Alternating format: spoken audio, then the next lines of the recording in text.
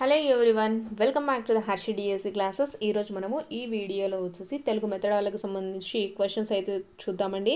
తెలుగు మెథడాలజీకి సంబంధించినటువంటి క్వశ్చన్స్. అలాగే మనకు ఈ మెథడాలజీలో భాగంగా వచ్చేసి ఈరోజు వీడియోలో పద్య బోధన గద్య బోధనకు సంబంధించి దాంట్లో ఉండేటటువంటి పద్ధతుల గురించి క్లియర్గా అయితే ఎక్స్ప్లెయిన్ చేస్తానండి. సో ఇలా మనం రోజు ఒక్కొక్క టాపిక్ క్లియర్ అయితే చేసుకుంటూ వెళ్ళిపోతాము సో తెలుగులో ఈరోజు పద్య బోధన గద్య బోధనకు సంబంధించినటువంటి క్లియర్ ఇన్ఫర్మేషన్ అలాగే దానికి సంబంధించిన ప్రాక్టీస్ బిట్స్ కూడా ఎక్స్ప్లెయిన్ చేస్తాను. వీడియో వచ్చేసి స్టార్టింగ్ నుంచి ఎండ్ వరకు చూడండి. సో ఫస్ట్ క్వశ్చన్ అయితే చూద్దామండి తెలుగు మెథడాలజీలో.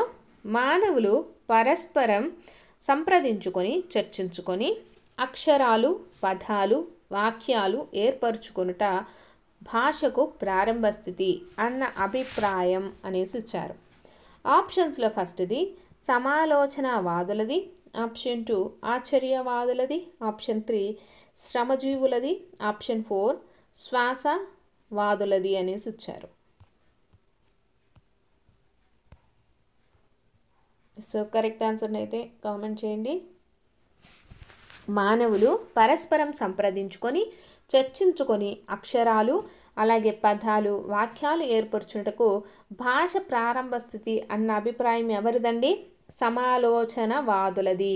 అంటే సమాలోచనవాదులు అంటే ఎవరంటే ప్రతి ఒక్కటే కూడా ఆలోచనలోనికి తీసుకోవడం ప్రతి ఒక్క దాన్ని సమానంగా ఆలోచించడం. అంటే వాక్యాలను కానివ్వండి పదాల గురించి కానివ్వండి అక్షరాల గురించి కానివ్వండి ప్రతి ఒక్క దాన్ని కూడా వీళ్ళు పరస్పరం సంప్రదించుకొని భాషలో ప్రతి ఒక్కటి కూడా ఉండాలి క్లియర్గా అనేది వీళ్ళ యొక్క అభిప్రాయం అనమాట సమాలోచన వాదులది. నెక్స్ట్ క్వశ్చన్ చూద్దాము. భాషల విషయకంగా ప్రత్యేక ఆదేశిక సూత్రాలను వివరించే భారత రాజ్యాంగంలోని అధ్యాయం ఏది అనేసి అడుగుతున్నారు. ఆప్షన్స్లో ఫస్ట్ది ఆరో అధ్యాయము ఐదో అధ్యాయం నాలుగో అధ్యాయం మూడో అధ్యాయం అనేసి ఇచ్చారండి. భాషల విషయకంగా సంబంధించి మనకు ఆదేశిక సూత్రాలు అయితే ఉన్నాయి కదా.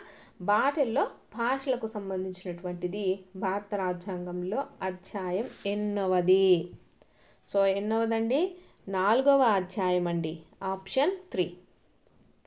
Next question. Carl Rogers ప్రకారము భావ ప్రసరణలో వ్యక్తి విఫలం కావడానికి ప్రధాన కారణం ఏది అనేసి ఇచ్చారు.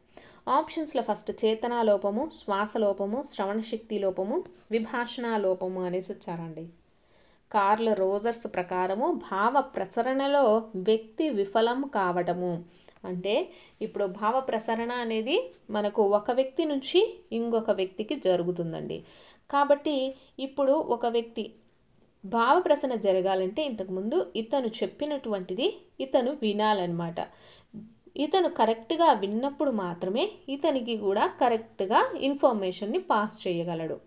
సో కాబట్టి మనకు ఎటువంటి లోపం ఇక్కడ ఉంటే విఫలం అవుతారు శ్రవణ శక్తి లోపం. అంటే ఇక్కడ చెప్పినటువంటి వ్యక్తి సరిగ్గా వినకపోతే మనకు ఇతను చెప్పేటటువంటి విషయం కూడా సరిగ్గా కన్వే అవ్వదు. దాంట్లో మార్పులు ఉంటాయి కాబట్టి మనం ఎవరైనా చెప్పేది స్పష్టంగా విన్నప్పుడు మాత్రమే భావ ప్రసరణలో విఫలం కా కావడం జరగదండి. సో మనకు శ్రవణ శక్తి లోపం మనం వినటంలో ఏమైనా లోపాలు ఉన్నప్పుడు మాత్రమే మనకు విఫలం అవ్వడం జరుగుతుంది. So option three is the right answer.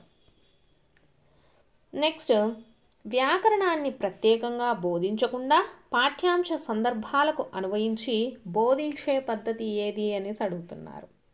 ఆప్షన్స్లో ఫస్ట్ది సూత్ర పద్ధతి ఆప్షన్ టూ వైకరణ పద్ధతి ఆప్షన్ త్రీ ఉదాహరణ పద్ధతి ఆప్షన్ ఫోర్ ప్రయోగ పద్ధతి అనేసి ఇచ్చారండి. వ్యాకరణాన్ని ప్రత్యేకంగా బోధించకుండా పాఠ్యాంశ సందర్భాలకు అనువ అన్వయించి బోధించే పద్ధతి ఏ పద్ధతి అండి? ప్రయోగ పద్ధతి అండి. ప్రయోగ పద్ధతి. Option four is the right answer అండి. నెక్స్ట్ పద్యము లేదా గేయ భావాన్ని ఏకమొత్తంగా వివరించి పిల్లల ఆనందానుభూతి తోడ్పడకు ఆనందానుభూతిని పొందుటకు తోడ్పడే పద్ధతి ఏది అనేసి ఇచ్చారండి. ఆప్షన్స్లో ఫస్ట్ది వివరణ పద్ధతి ఆప్షన్ టూ పఠన పద్ధతి ఆప్షన్ త్రీ పూర్ణ పద్ధతి ఆప్షన్ ఫోర్ ప్రశ్నోత్తర పద్ధతి అనేసి ఇచ్చారు. సో దీనికి సంబంధించిన ఇన్ఫర్మేషన్ మొత్తం కూడా ఎక్స్ప్లెయిన్ చేయడం అయితే జరుగుతుంది. క్వశ్చన్ ఆన్సర్ అయిన తర్వాత సో ఇక్కడ మనకేమిచ్చారు? పద్యం లేదా గేయాన్ని ఏక మొత్తంగా అనేసి ఇచ్చారండి. ఏక మొత్తంగా ఏక మొత్తంగా అంటే మనకు ఏ పద్ధతి అండి ఇది? పూర్ణ పద్ధతి. Option three is the right answer. Next గద్య బోధనకు సంబంధించిన క్వశ్చన్ ఉందండి.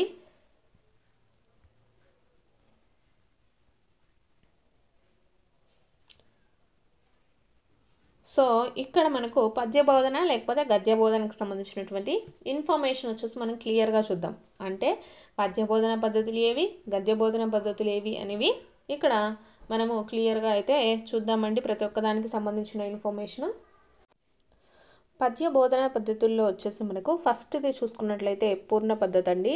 సో పూర్ణ పద్ధతి అంటే ఏంటో చూద్దాం. Proceed from whole to parts అనే సూత్రానికి సంబంధించిందే పూర్ణ పద్ధతి. పద్యాన్ని మొత్తంగా తీసుకొని బోధించడాన్ని పూర్ణ పద్ధతి అంటారు.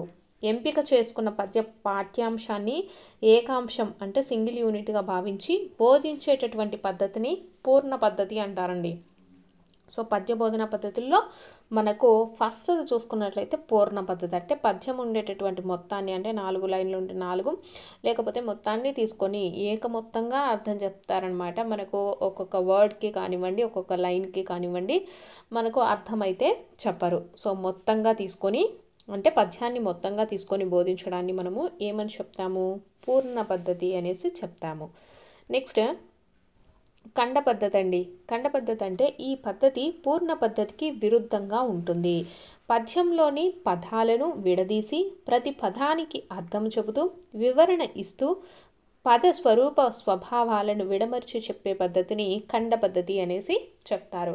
సో మనకు ఖండ పద్ధతి అంటే ఏంటంటే పూర్ణ పద్ధతికి విరుద్ధంగా ఉంటుంది. పూర్ణ పద్ధతి అంటే ఏంటి? మనకు మొత్తంగా తీసుకొని చెప్పడం జరుగుతుంది. కానీ ఖండ పద్ధతిలో చూసుకుంటే ప్రతి పదానికి కూడా అంటే ప్రతి పదానికి అర్థము చెబుతూ అలాగే వాక్యానికి సంబంధించిన అర్థము చెబుతూ దాంట్లో ఉన్నటువంటి ప్రతి పదార్థాలను కానివ్వండి ప్రతి ఒక్క దాన్ని కూడా మనకు అర్థమయ్యేలాగా చెప్తూ విడమరిచి చెప్పేటటువంటి పద్ధతిని ఏమంటాము? ఖండ పద్ధతి అనేసి చెప్తామండి. వెరీ వెరీ ఇంపార్టెంట్ అండి మనకు పద్య బోధన పద్ధతి కానీ గద్య బోధన పద్ధతికి సంబంధించి కంపల్సరీ క్వశ్చన్స్ అనేటివి అడుగుతారు. సో క్లియర్గా అయితే చూడండి. నెక్స్ట్ చూసుకున్నట్లయితే మనకు పద్య పద్ధతిలో థర్డ్ది ప్రశంసా పద్ధతి అండి కవి రచన చమత్కృతి ప్రతిభ రసపోషణ అలంకార వైశిష్టము వ్యంగ్యార్థాలు సమయోచిత పద ప్రయోగ ఔచిత్యము మొదలైన నిగూఢమైన అంశాలను విద్యార్థులకు తెలియపరిచి వారు ప్రశంసించేటట్లు అందులో లీనమయ్యేటట్లు చేయడమే ఈ పద్ధతిలో ఉండేటటువంటి విశేషం అనేసి ఇచ్చారు. సో ప్రశంసన పద్ధతి అంటే కవి ఒక ఒక పద్యాన్ని రచించినట్లయితే ఆ పద్యంలో ఉన్నటువంటి మనకు ప్రతి ఒక్కదాన్ని కూడా అర్థమయ్యేటట్టు విద్యార్థులకు చెప్పగలిగితే అంటే అతని యొక్క ప్రతిభను కానివ్వండి రస పోషణను అంటే ఏదైనా తీసుకున్నట్లయితే దాన్ని ఎంత అందంగా వర్ణించగలగాలో అంత వర్ణం అంత అందంగా వర్ణించగలిగి అక్కడ వినేటటువంటి వ్యక్తులు దాంట్లో లీనమయ్యే విధంగా చెప్పడం అండి. అలంకారం కానివ్వండి వ్యంగ్య అర్థాలు అంటే ఒక్కొక్క దానికి అర్థాలు అనేవి ఉంటాయి కదా ప్రతి ఒక్కటి కూడా మనకు అర్థమయ్యేటట్టు అన్ని అంశాలను కూడా విద్యార్థులకు తెలియపరుస్తే వాళ్ళు ఏమంటారు ఎంత అద్భుతమైనటువంటి రచనలు రచించినటువంటి కవి అతను ఎంత ప్రతిభావంతుడో ఎంత ప్రజ్ఞావంతుడో అనేసి ఇలా చెప్పడం జరుగుతుంది కాబట్టి ఇవన్నీ చేయడం ద్వారా అందులో వాళ్ళను లీనం చేయడమే ఈ పద్ధతిలోని విశేషణం అనమాట అంటే కవి మనం ఏదైతే పద్యం చెప్తామో ఆ పద్యము ఎలా చెప్పాలంటే కవిని పొగిడేంతగా ఉండాలన్నమాట. అంత చెప్పగలిగితే దాన్ని మనము ప్రశంసా పద్ధతి అనేసి చెప్తామండి. నెక్స్ట్ చూసుకుంటే పఠన పద్ధతి. Poetry must be read but not థర్ట్ అనేసి ఇచ్చారు. అనే అభిప్రాయం ప్రాతిపదికన ఉన్నటువంటి పద్ధతి ఏది అంటే పఠన పద్ధతి. పద్యాన్ని పాడాలి చదవాలి బోధించకూడదు అని భావించే పద్ధతి. అంటే మనకు పద్యం వచ్చేసి మనకు మామూలుగా ఏదో లెసన్ మనం కంటెంట్ చదువుతున్నాడు చదివితే వాళ్ళకు అర్థం కాదనమాట. పద్యాన్ని పద్యం లాగానే గద్యాన్ని గద్యం లాగానే బోధించాలి. సో పఠన పద్ధతి అంటే అదండి. పద్యాన్ని పాడాలి చదవాలి. అంతేగాని బోధించకూడదు అనేటటువంటి పద్ధతి ఏది అంటే పఠన పద్ధతి. నెక్స్ట్ చూసుకుంటే సారాంశ తాత్పర్య పద్ధతి. పద్యాలను చదివి వినిపించి ప్రధాన భావాన్ని తాత్పర్యాన్ని చెప్పి విద్యార్థులు సొంత మాటల్లో చెప్పించేటటువంటి పద్ధతి అనమాట కాఠిన్యత తగ్గిన పద్యాలను ఈ పద్ధతిలో బోధించాలి అనేసి వచ్చారు. అంటే మనకు సారాంశ తాత్పర్య పద్ధతి అంటే ఒక పద్యాన్ని పద్యాన్ని తీసుకున్నట్లయితే దానికి సారాంశం కానీ తాత్పర్యాన్ని కానీ క్లియర్గా విద్యార్థులకు ఎక్స్ప్లెయిన్ చేయాలి. అలాగే అది ఎలా ఉండాలంటే మనం ఇచ్చేటటువంటి ఎక్స్ప్లెనేషను విద్యార్థులు వాళ్ళ సొంత వాక్యాలలో చెప్పగలిగే దానిలాగా ఉండాలండి. సో అటువంటి సొంత మాటల్లో చెప్పించేటటువంటి పద్ధతి ఏది అంటే సారాంశ తాత్పర్య పద్ధతి అనమాట నెక్స్ట్ ఇంకొకటి ఏది అంటే ప్రతి పదార్థ పద్ధతి అండి ప్రతి పదార్థాన్ని చదివి దాని పద విభాగం చెప్పించి ఆ తర్వాత పద్య తాత్పర్యాన్ని చెప్పడం ఈ పద్ధతిలోని విశేషం అనేసి చెప్పారు. అంటే మనకు పద్యంలో ఉండేటటువంటి ప్రతి ఒక్క అర్థము ప్రతి ఒక్క పదానికి అర్థాన్ని క్లియర్గా చెప్పేసి మళ్ళీ మొత్తంగా పద్యం యొక్క తాత్పర్యాన్ని చెప్పడమే పద్ ప్రతి పదార్థ పద్ధతి అండి. సో ఇవి మనకు పద్య పదానికి దీనికి పద్య బోధనకు సంబంధించినటువంటిది. నెక్స్ట్ గద్య బోధనకు సంబంధించి చూద్దామండి. గద్యం కవీనాం నికషం వదంతి అనే ప్రసిద్ధోక్తి ఉంది. అంటే కవి ప్రతిభకు గద్యమే గీటురాయి అని అర్థమండి. సో ఇది కూడా మనకు చాలాసార్లు క్వశ్చన్ అయితే అడిగారండి. కవి ప్రతిభకు గీటురాయి అనే అర్థమని దేన్ని చెప్తారు అనేసి ఇచ్చారు. వచనము గద్యము పద్యము నెక్స్ట్ ప్రక్రియ ఇలా ఇవ్వడం జరిగిందనమాట. సో కాబట్టి ఇది కూడా చూడండి. కవి ప్రతిభకు గద్యమే గీటురాయి అనమాట సో కృష్ణమాచార్యులు రచించినటువంటి సింహగిరి వచనములు అనేది మొదటి గద్య రచన గద్య రచనగా పేర్కొనడం అయితే జరుగుతుంది. నెక్స్ట్ గద్య బోధనా పద్ధతులు చూద్దామండి. ఫస్ట్ది ప్రశ్నోత్తర పద్ధతి. ఉపాధ్యాయుడు పాఠ్యాంశాన్ని కేంద్రంగా గ్రహించి విద్యార్థులను ప్రశ్నిస్తూ సమాధానాలను రాబడతాడు. విద్యార్థులలో దాగి ఉన్న శక్తులను బహిర్గతం చేయడానికి ఇది దోహదపడుతుంది అనేసి ఇచ్చారు. సో ప్రశ్నోత్తర పద్ధతి అంటే ఉపాధ్యాయుడు ఫస్ట్ పాఠ్యాంశాన్ని కేంద్రంగా గ్రహించటం మొత్తము చెప్పడం అయితే జరుగుతుంది. తర్వాత విద్యార్థులను ప్రశ్నిస్తూ సమాధాన సమాధానాలను కూడా రాబట్టినట్లయితే దాన్ని ఏమంటామండి? ప్రశ్నోత్తర పద్ధతి అనేసి చెప్తాము. నెక్స్ట్ ప్రవచన పద్ధతి అండి. ఉపాధ్యాయుడు పాఠ్యపుస్తకం చదువుతూ వివరించే పద్ధతి అనమాట మనస్తత్వ శాస్త్ర సూత్రాలకు విరుద్ధమైనటువంటి విరుద్ధమైన గద్య బోధన పద్ధతి. అంటే మనకు ఉపాధ్యాయుడు పాఠ్యపుస్తకంలో ఉండేటటువంటిదంతా చదువుకుంటూ వివరించుకుంటూ వెళ్ళిపోతే దాన్ని ఏమంటాము ప్రవచన పద్ధతి అనేసి చెప్తామండి. నెక్స్ట్ ఉపన్యాస పద్ధతి. పాఠ్యాంశాన్ని ఉపాధ్యాయులు ఉపన్యాస ధోరణిలో బోధించే పద్ధతి. ఇది పాఠశాల స్థాయిలో ఉపయుక్తం కాదు అనేసి ఇచ్చారు. అంటే ఉపన్యాస పద్ధతి అంటే ఉపాధ్యాయుడు పిల్లలకు చెప్పేది అర్థమవుతుందా అర్థం అవ్వట్లేదా లేకపోతే వాళ్ళ మీద క్వశ్చన్స్ వేయడం కానీ చెప్పినటువంటి దాంట్లో ఇలా ఏమీ ఉండదన్నమాట. జస్ట్ అలా చెప్పుకుంటూ వెళ్ళిపోతూ ఉంటాడు. సో కా కాబట్టి దానివల్ల మనకు పాఠశాల స్థాయిలో ఎటువంటి ఉపయుక్తం ఉండదు. అంటే ఎటువంటి ఉపయోగం అనేది ఉండదండి. చెప్పుకుంటూ వెళ్ళిపోతే మనకు ఎలా పిల్లలు అసలు అర్థం చేసుకుంటున్నారా లేదా అనేటటువంటి విషయం అనేది ఈ ఉపన్యాస పద్ధతిలో ఉండదన్నమాట. సో అన్నిటికీ ఉపన్యాస పద్ధతి అంత సూటబుల్ అయినటువంటి పద్ధతి కాదండి. నెక్స్ట్ చూసుకున్నట్లయితే చర్చా పద్ధతి. ఉపాధ్యాయుడు మొదట చర్చను ప్రారంభించి దాని సారాంశాన్ని చివరగా సాధారణీకరణం చేసేటటువంటి పద్ధతి అనమాట ఈ పద్ధతి మాధ్యమిక ఉన్నత దశలకు ప్రయోజనకారిగా ఉంటుంది. సో చర్చా పద్ధతి అంటే ఫస్ట్ ఏదైనా ఉపాధ్యాయుడు ఒక క్వశ్చన్ అనేది వేయడం జరుగుతుంది. ఆ క్వశ్చన్కి సంబంధించి ప్రతి ఒక్కరికి కూడా మీ యొక్క అభిప్రాయాలు తెలపండి అనడం కానీ సో ఆ అభిప్రాయాల మీద వాళ్ళకి ఏమైనా ఏమైనా డౌట్స్ ఉంటే పక్కన వాళ్ళు మళ్ళీ క్వశ్చన్ చేయడం ఇలా చర్చ లాగా సాగుతూ ఉంటుందన్నమాట. సో ఇలాంటి చర్చా పద్ధతి వల్ల మనకు చాలా వాటికి ఆన్సర్లు అయితే దొరుకుతాయండి. సో ఇది చర్చా పద్ధతికి సంబంధించింది అనమాట నెక్స్ట్ ఉదాహరణ పద్ధతి అండి. నూతన పదాలకు వ్యాకరణ అంశాలను ఈ పద్ధతిలో బోధించాలి. సో ఉదాహరణ పద్ధతి అంటే మీకు అందరికీ తెలిసిందే కదా.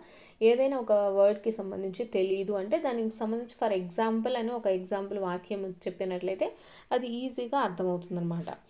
ఉపా ఉదాహరణ పద్ధతి అంటే ఏంటి? నూతన పదాలను కానీ వ్యాకరణ అంశాల కంటే ఫర్ ఎగ్జాంపుల్ మనం సవర్ణ దీర్ఘ సంధి తీసుకున్నాం అనుకోండి దానికి చాలా ఎగ్జాంపుల్స్ చెప్తాము. ఎందుకు? అది అర్థం కావడానికి. సో ఇలా ఇటువంటి దాన్ని ఉదాహరణ పద్ధతి అంటారు. నెక్స్ట్ సంభాషణ పద్ధతి. సంభాషణ రూపంలో ఉన్న పాఠాలను ఒక్కొక్క పాత్ర ఒక్కొక్క విద్యార్థికి ఇచ్చి ఆయా పాత్రల సంభాషణలు చదివించే పద్ధతి. సో సంభాషణ పద్ధతి అంటే మీ అందరికీ తెలిసిందే అండి. సో ఒక్కొక్కరికి అంటే రవి నెక్స్ట్ వచ్చేసి రమ ఇలా పేర్లతోటి ఉంటాయి కదా. సో సంభాషణలు అవి ఏంటంటే ఒక్కొక్క విద్యార్థి చేత ఒక్కొక్కరు పేర్లతోటి చెప్ చదివి చెప్పించడం ద్వారా దీని సంభాషణ పద్ధతి అనేసి మనం చెప్తాము. నెక్స్ట్ కథా కథన పద్ధతి. కథలోని విభిన్న పాత్రల్లో ఉపాధ్యాయుడు పరకాయ ప్రవేశం చేసి పాత్రోచితంగా మాట్లాడుతూ కథనం చేసే పద్ధతిని కథా కథన పద్ధతి అంటారు. అంటే మనకు కథలో ఉండేటటువంటివి కొన్ని పాత్రలు ఉంటాయి కదా వాటిని వీళ్ళు అభినయంగా అంటే వాళ్ళలాగా బిహేవ్ చేస్తూ మనకు చెప్తూ ఉంటారు కదా లెసన్స్ అటువంటి వాటిని కథా కథన పద్ధతి అనేసి చెప్తారండి. ఇవి గద్య బోధనలో ఉండేటటువంటి పద్ధతులు. గద్య బోధనలో ఉండేటటువంటివి ఏంటివి? కథా కథన పద్ధతి సంభాషణ పద్ధతి ఉదాహరణ పద్ధతి నెక్స్ట్ చర్చా పద్ధతి ఉపన్యాస పద్ధతి ప్రవచన పద్ధతి అలాగే ప్రశ్నోత్తర పద్ధతి. సో గద్య బోధనకు సంబంధించి చూసుకున్నట్లయితే మనం కొంచెం ఆన్సర్ అయితే చేయగలం. కానీ పద్య బోధనకు కొంచెం చదువుకోవాల్సి ఉంటుందండి. ఎందుకంటే ప్రతి పదార్థ పద్ధతి సారాంశ తాత్పర్య పద్ధతి కానివ్వండి పఠన పద్ధతి నెక్స్ట్ ప్రశంసా పద్ధతి ఖండ పద్ధతి పూర్ణ పద్ధతి అండి. ఇది క్లియర్గా చదువుకోవాలి. చాలామంది కన్ఫ్యూజ్ అయ్యేది ఇక్కడే. సో పద్య బోధనకు సంబంధించి కూడా క్లియర్గా అయితే చదవండి.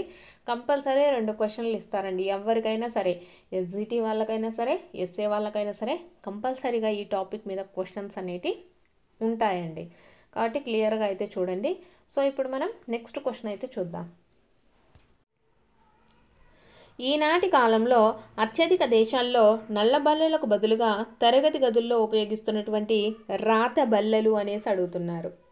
ఆప్షన్స్లో ఫస్ట్ది ప్రతిస్పందించే తెల్లని బోర్డులు బులెటిన్ బోర్డులు పెగ్ బోర్డులు ప్రకటన బోర్డులు అనేసి ఇచ్చారు. సో ఇప్పుడు మనకు చాలా వరకు నల్ల బల్లలకు బదులుగా వైట్ బోర్డులను అయితే యూస్ చేస్తూ ఉన్నారండి. సో వాటిని ఏమంటాము? ప్రతిస్పందించేటటువంటి తెల్లని బోర్డులు అనేసి చెప్తామండి. Next question. మూల్యాంకనము ఉద్దేశము విద్యా లక్ష్యాల సాధన తప్ప మార్కులు ర్యాంకులు కాదన్న నివేదిక ఆర్ చట్రం ఏది అనేసి ఇచ్చారండి. ఆప్షన్స్లో ఫస్ట్ది దవే నివేదిక ఆప్షన్ టూ జాతీయ విద్యా ప్రణాళిక చట్రం ఆప్షన్ త్రీ మొదలియర్ నివేదిక ఆప్షన్ ఫోర్ యశ్పాల్ నివేదిక అనేసి ఇచ్చారండి. మూల్యాంకనం ఉద్దేశము ఏంటి? విద్యా లక్ష్యాల సాధన తప్ప మార్కులు కానివ్వండి ర్యాంకులు కాదు మార్కులు కాదు ర్యాంకులు కాదు. ఓన్లీ వాళ్ళ వాళ్ళకు వాళ్ళ యొక్క విద్యా లక్షణాల లక్ష్యాలను సాధించటమే అని చెప్పినటువంటి నివేదిక ఏదండి? జాతీయ విద్యా ప్రణాళిక చట్టం అండి. జాతీయ విద్యా ప్రణాళిక చట్టం. Option two is the right answer. Next question. భాష మేళాలు పాఠశాలల్లో నిర్వహించడం వలన కలిగే ప్రయోజనం ఏది అనేసి ఇచ్చారండి. సో ఈ భాషా మేళాలు వచ్చేసి మనకు పాఠశాలలో నిర్వహించడం వల్ల ఏం జరుగుతుందండి? ఆప్షన్స్లో చూసుకున్నట్లయితే పాఠశాల కార్యక్రమాలను తల్లిదండ్రులకు వివరించుట పాఠశాల కీర్తి ప్రతిష్టలు పెంచుట పాఠశాలల్లో భాషాభివృద్ధి జరుగుట ఉపాధ్యాయుల నైపుణ్య పరీక్ష అనేసి ఇచ్చారండి. ఈ భాషా మేళాల ద్వారా ఏం జరుగుతుందండి? విద్యార్థులలో భాషాభివృద్ధి జరుగుతుందన్నమాట. Option three is the right అండి.